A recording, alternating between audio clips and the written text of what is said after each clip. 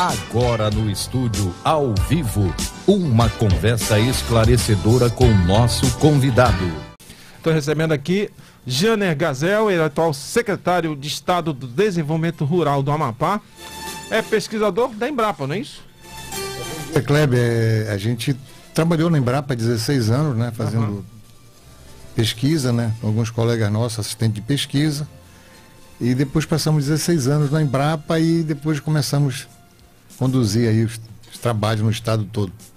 É, agora, agora sim, vamos colocar a imagem já ao vivo do secretário aqui no estúdio, secretário Janer Gazel. Você é natural de onde, Gazel? Alenquer, Pará. Alenquer. Alenquer, Pará. É a terra do, do Cristóvão Lins? Sim. Não é isso? Ele é engenheiro, engenheiro agrônomo, né? Mango, tem muito agrônomo lá no Pará, viu? Lá no, somente Alenquer, Santarém, aquela região dá muito agrônomo florestal, veterinário. Formado pela Universidade Federal Rural da Amazônia, não?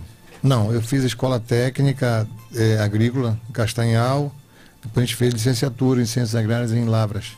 Em Lavras? É, assim que a gente Lavras conclui... é, é, Minas. Em Minas, é. Lavras em Minas, tá. E, e, como é que começa essa história com a agricultura? Era uma vocação familiar? Como é que, como é que a agricultura fez parte da sua vida aí? Kleber, a gente é bom dia agradecer ao bom Deus por estar presente aqui, né, a todos os ouvintes 90.9, seu programa muito ouvido.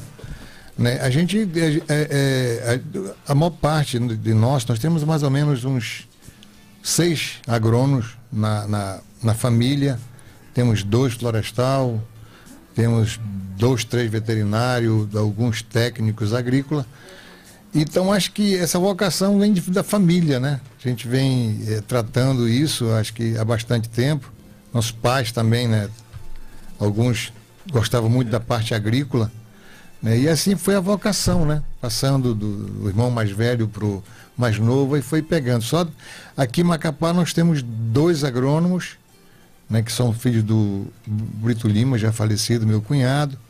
E tem mais dois agrônomos de um tio meu. Então a família é muito, muito grande. Tem uns três lá no Pará e a família toda da parte agrícola. Bom, secretário, a gente tem então a informação. Esse final de semana nós temos a volta do circuito Tecnoagro. Não é?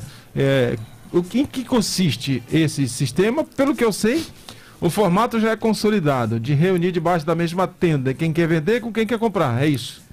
Sim, Kleber, eu acho que eh, esse ano tem uma, uma inovação diferente da gente colocar feira do produtor né, pela parte da manhã dentro do circuito. E ali é um negócio, né? A gente vai estar tá, é, transformando numa vitrine de negócio. É, apesar de há dois anos a gente não, não fazer o circuito pelo motivo da pandemia, né? Mas conseguimos fazer pelo menos as, as, as feiras itinerantes.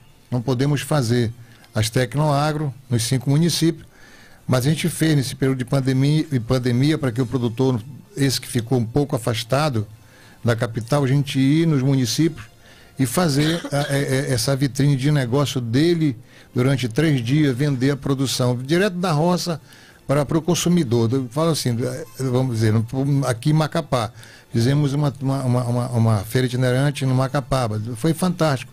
E a gente casa com isso, com a saúde do produtor, que a gente leva à Secretaria de Saúde do Estado para acompanhar todo, todos que vêm ali. Então, a gente fez isso em todos os municípios, a maior parte dos municípios, lá na Jaldiari, Oiapoque, é, Tartarugal.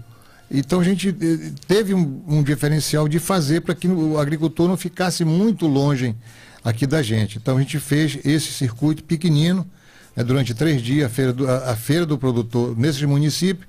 E agora não, da, após pandemia, a gente volta com toda a força né, nas Tecnoagro, onde a gente tem lá é, a vitrine de negócio, temos vários cursos né, voltado para o produtor pela parte da manhã, na hora que ele está lá e à tarde ele já fica para fazer algum tipo é, filetamento de peixe, é, a, a, próprio hambúrguer, hambúrguer artesanal que eles gostam muito de fazer isso quando voltam para sua, as suas casas.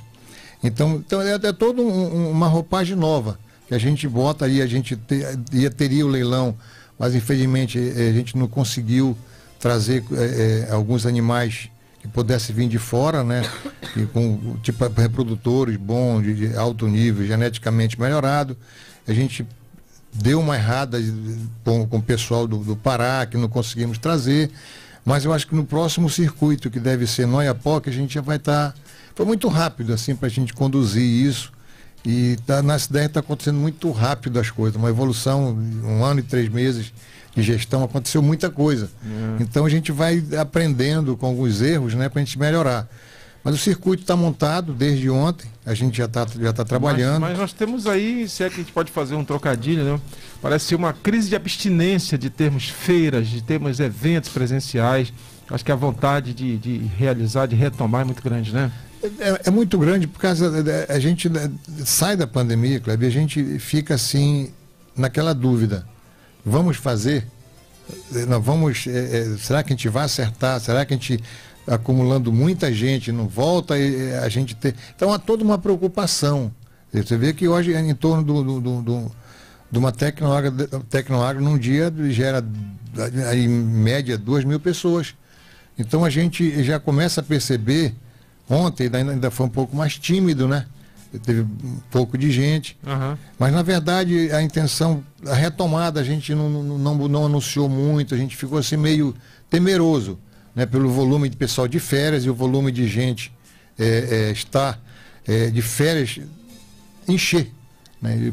Tem rodeio, tem. tem, tem Esse final de semana, então, está acontecendo em Porto Grande. Porto Grande. Aí a próxima a gente já vai. Vai até amanhã. Vai até amanhã. Uhum. Até amanhã. Onde que acontece lá em Porto Grande? Ali no balneário. Foi o melhor local ali que a gente conseguiu fazer. Ficou muito bonito ali, uma estrutura muito, muito, muito bonita mesmo. Ficou perfeito ali no balneário ali, a gente acho que teve esse carinho de escolher um local, ali a passagem, né? A gente, como eu te falei, a gente As fez margens da perimetral. Da perimetral, a gente fez até um pouco de divulgação, até ontem alguém me cobrava, porque não divulgou em Ferreira Gomes, em Pedra Branca, é, em, em, em Serra do Navio. Então essa preocupação da gente não é a gente encher é, é, é a, a Tecnoagro, mas pelo menos ali em torno ali de, de, de Porto Grande ali que tem o maior produtor de, de, de fruticultura, a gente mostrar lá com, com, a, com a própria produção deles, na, na, própria feira pela parte da manhã, para que eles entendam que eles não podem mais ficar esquecidos. Né? Então a gente tem feito isso com muito carinho para atender, principalmente o produtor. E automaticamente aí vai o público que vai assistir, o, ontem foi o, Momento Gospel, vai, hoje já tem um evento, todos com artistas locais. Então a gente teve esse, toda essa tratativa para não, não, não, encher muito a Tecnoagro. Não, ainda, é, ainda tem essa. É, é por isso também que é um circuito, né? Não é só um evento, é um não. evento lá, mas segue para outros municípios. É uma estratégia, é uma estratégia gente, mesmo. Sim, né? a gente, depois a gente vai para Amapá, Oiapoca, Laranjal do Jari. E a gente fecha aqui com a Tecnoagro, eu acho que no final de, de de dezembro, já, a gente já não pensa fechar com a Tecnoagro, fecha com uma grande expofeira, como fizemos em 2015. A volta da expofeira? A volta da expofeira, gente, se Deus permitir, né, a gente sempre tem esse cuidado de, de, de desse momento do público, essa é a preocupação da gente. Então, acho que em cada município a gente vai fazendo a coisa bem, bem acomodadinha, para que não encha muito, mas é, é, meio difícil. Hoje a gente já espera uma quantidade de gente muito grande, que tem um rodeio, né? Não tem, tem Hoje várias vai atrações. ter rodeio. Tem rodeio. Ah, bacana. Todo, ah, bacana. Sexta, é, hoje, sábado e domingo rodeio. Ontem teve também. Teve também. Sim. Olha, aqui na nossa live, viu? Eu estou conversando aqui com o Jane Gazel, secretário de Estado do Desenvolvimento Rural do Amapá. O Carlos Alves, que é nosso colega cronista esportivo, ele disse um grande abraço para o meu amigo Iane, ou meu amigo Jane Iared. E ele disse assim: foi um bom presidente do trem desportivo clube. Você foi cartola também, Iared? Rapaz, é, Multitarefa. É, a, gente, a gente foi diretor de futebol durante dois anos do trem. Mandar um abraço para Socorro Marinho, que é minha amiga, a, a, a seu esposo, o, o Osmar. A gente fez uma escolinha, fomos penta, pentacampeão do Copão da Amazônia como diretor de futebol. Ele está em Fortaleza, no Ceará, e ficamos, e ficamos um período de oito meses como presidente para fazer a eleição, que o Olimar tinha renunciado o Maneca tinha passado para ser, ser vice-reitor na, na, na, na, universidade e na me colocaram para conduzir o destino do trem durante oito, oito meses. E aí já um pouquinho de cada coisa, né? Uhum. Mas o forte da gente mesmo, eu acho que vai ficar sempre a, a agricultura que está no sangue da gente, essa determinação de vontade de mudar o Estado, sabe, fazer um Estado produtivo e que para as famílias que estão no campo não, pode, não possam uhum. mais ser esquecidas. Secretário, antes de liberar o senhor, eu sei que você tem que pegar a estrada. É, nessa nova fase, claro, o circuito Tecnoagro é uma grande ferramenta, né, que o senhor já, já explicou dentro dessa estratégia. E e com relação agora, que a gente acaba de ter o anúncio, na, recentemente, até por conta de uma decisão judicial, a, a destravar o setor. É, peraí, o setor de política agrária, não é? Uma decisão judicial deu agora a chancela para que a gente tenha as últimas glebas aí, finalmente podendo dar a escritura para essas terras. Então, seja da agricultura familiar, que é o seu métier aí no dia a dia, seja na agricultura de escala, a gente destrava o, o setor do agronegócio no Amapá? É, eu acho que a tratativa que a gente, como Secretaria de Desenvolvimento Rural, nós não, não, não podemos pensar só no pequeno, nós temos que pensar no todo, porque quem vai, além da agricultura familiar, vai gerar muito recurso para o Estado, com o que está acontecendo agora, eu acho que o agro mesmo forte, com, com a vinda de, de grãos, vai ser um negócio fantástico. Eu acho que o Estado não vai precisar mais estar tá, é, buscando fontes é, em outros estados. É que a gente vai produzir em escala é, para exportação. Então, a gente da Secretaria, a gente tem esse cuidado de atender todos. Né? Mas como no momento a gente passa por, por, por, esse problema das terras do Estado que já estão legalizando, se me falha, tem 11 glebas prontas já e tem mais algumas que que já devem estar sendo consolidadas, aí a gente vai ter certeza que esse Estado vai ser um Estado produtivo. Eu tenho, assim, eu, eu, eu 40 anos da minha vida, Kleber, foi dedicado à agricultura familiar e a gente vem aprendendo muito com isso. A gente não quer que ninguém vá embora. Assim que eu assumi, reuni várias vezes com os vou citar bem assim, os sojeiros, e pedi que eles não fossem embora, me dessem três meses. Falei com o pessoal da, da Friagril, da Friagril foi a mesma coisa mas infelizmente a gente chega no limite do esgotamento quando você consegue é, é, esgotar todos os limites para que eles pudessem ficar aqui, eu, eu, eu, eu, não consegui, isso me deixou frustrado, porque a gente vinha de uma sucessão de, de, de, de de problemas judiciais, aquilo é, é muito ruim para o Estado, aquilo foi muito Havia dolorido. Uma, uma dicotomia entre os órgãos de licenciamento do Estado e os da União, né? Com certeza, aí o INCRA tem um pensamento, o IBAMA tem outro, o Estado tinha um pensamento.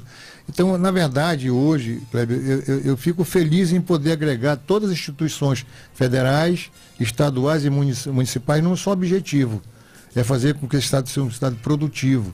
Nós não vamos ter grandes indústrias aqui, nós não vamos ter grandes projetos que, que possam revolucionar o Estado, mas uma agricultura forte, tanto da agricultura familiar e, e vindo o, o, pessoal do Grãos, todo, de, todo com suas licenças ambientais, todo de, com determinação eh, da legislação, você pode ter certeza que ninguém vai segurar o Estado, porque nós temos aqui terras férteis, água em abundância, então nós temos tudo para produzir. Infeliz... Aqui chegou a ser chamado né? Eu estava até falando agora que a gente tem uma, uma viagem para o sul aí. É, a gauchada que subiu esse país, né? Su, saindo do frio lá do sul, como eles vieram, vieram, vieram, e aqui foi, chegou a ser definido como a última fronteira agrícola do país, né? A chegada da agricultura de escala Amapá. Kleber, é assim, veio não tanto a, a gauchada ali, Paraná, Santa Catarina, vieram com poder de fogo para investimento muito forte, muito grande, porque acreditavam no Estado. O grande problema é que e, e, o que aconteceu, a minha opinião, né, não como secretário, mas um, um cara que como milita, profissional da área, né, um pesquisador. Que, que milita há, há, bastante tempo, eu acho que nunca, de, nunca nos deram dever de casa. O Ministério Público nunca deu dever de casa para a gente fazer. Dá um checklist. O que, é, é muito fácil você dizer, tá errado, tá errado, tu não pode fazer isso. Mas também nunca ninguém pensou ir lá no Ministério Público e dizer, chega aqui, eu estou aqui, eu sou mapaense, eu quero que se você está aqui, você precisa ajudar o Mapá. O que é que é preciso para destravar as terras? Nunca ninguém fez isso. Uhum. E o Ministério Público achava que deveria fazer, e acho que corretamente, né? A, a, a divergência entre a federação né, e o Estado era muito, muito longe um do outro. Olha só, se alguém do INCRA está aqui, o IBAMA está aqui, e nós estamos aqui com a SEMA, com, com, com, com a Mapa Terras aqui, acho que a gente precisa é, é, chegar a um, de, um. O que é bom para o Amapá não é bom para o gestor, não. Tem que, ser, tem que ver o que é bom para o Amapá. Não adianta dizer, porque nós vamos passar para cá, trilhar para cá, então não vamos para lugar nenhum. Se, se todos os federados não tiverem de, com determinação de tentar desenvolver o Estado, nós não vamos chegar a lugar nenhum. Mas agora, graças a Deus, o doutor Juliano tem feito um trabalho fantástico no Mapa Terras. Acho que é assim, acho que a gente primeiro procurou conduzir todas as instituições, o Ministério da Agricultura está envolvido nesse processo, é Embrapa, então a gente conseguiu fazer com que todas as instituições federativas estaduais e até os próprios municípios entenderem que a gente não precisa mais é, é, é, passar por isso. Então, com eu, eu, eu dou um exemplo assim, eu sou um eterno ladrão, um ladrão de conhecimento. Então, aonde tem algo novo, eu vou lá, que deu certo, Beber na fonte. Com certeza. Muito bacana. É, eu lembro de. Com, com, nós temos um projeto né, de, de, de notícia para o campo, uma página para o campo, que é o portal do agro.com. E eu estava em Brasília na semana ali de composição, equipe de governo e tal, no dia que foi anunciada a futura ministra da Agricultura, Tereza Cristina. E num, numa, um, um furo de reportagem eu acabei batendo um papo com ela, gravamos com ela. E eu nunca esqueci o que ela falou. Ela disse o seguinte, Kleber, da porteira para dentro, o produtor rural brasileiro ele tem nível de excelência de saber o que fazer. O problema são as conjunturas, a logística, da porteira para fora. E é aquela máxima de que o poder público, se não puder ajudar, que pelo menos não atrapalhe. É, essa é esse pode ser o sentimento do produtor rural brasileiro. Eu acho que ela foi muito feliz quando ela coloca isso. Agora no Amapá, nós, é, as pessoas estão entendendo, as instituições estão entendendo que o caminho, volto a repetir, o caminho do desenvolvimento do Amapá imediato é através da agricultura familiar. Essa porteira está aberta, o Estado está chegando com políticas públicas e com recursos muito altos para que realmente possa desenvolver lá, lá na ponta a, a, agricultura familiar para que quando a gente consolidar de vez com os grandes, é, é, é, vamos dizer, os grandes produtores de grãos, isso vai, isso vai consolidar de uma vez por todas, porque o, o, o, o homem que, que, que trabalha, que trabalha com grãos, de alguma forma ele vai ajudar o pequeno lá. Se o, se o Estado faz, vamos dizer, um hectare hoje, o produtor de grãos, ele ajuda com mais um hectare, porque está ali perto, está em torno, ele, ele tem interesse que isso aconteça. Então, com isso, a produtividade vai com certeza ser muito maior. Muito bem, recebemos aqui o secretário de Estado do Desenvolvimento Rural, titular da SDR, Janes Gazel. Muito obrigado, bom, boa viagem até Porto Grande, bom evento lá. É, obrigado, Kleber. A gente tá sempre... Porto Grande você tem onde? Nós temos o Limão. limão. Vamos... É, a gente, é, a gente é muito. É, eu não paro, né? É, eu não, eu não tenho mais família. A minha família de casa. A minha família, são 5 mil famílias que eu abracei até 31 de dezembro, se Deus me permitir. Né? E dizer que vamos inaugurar um poço, um poço artesiano. Eu cheguei lá, tem 56 famílias lá no Limão. E eu fui para uma reunião lá, eles estavam cavando um poço Amazonas. Eu imediatamente parei o poço Amazonas lá, parem vamos fazer uma vaquinha aqui e hoje nós vamos inaugurar o, o, o, o poço. O poço que e, e, aí a gente tem feito isso em todo, todo lugar. E depois Porto Grande para acompanhar o circuito, mas antes lá nós vamos até o, até a, a, o viveiro das, das mudas de cacau que chegaram doada pela CEPLAC da Federação da Agricultura. Aliás, esse projeto do Cacau rende uma outra vinda sua aqui. Vamos Opa, aprofundar um pouco aí, mais, tá né? Tá bom, tem um projeto Reniva, Cacau tem um PPI. É um projeto arrojado, É um né? negócio fantástico. Dá para é um negócio todo fantástico. fim de semana. Isso, isso vai, vai transformar a vida do agricultor, da agricultura familiar, assim que tu não imagina. Combinado.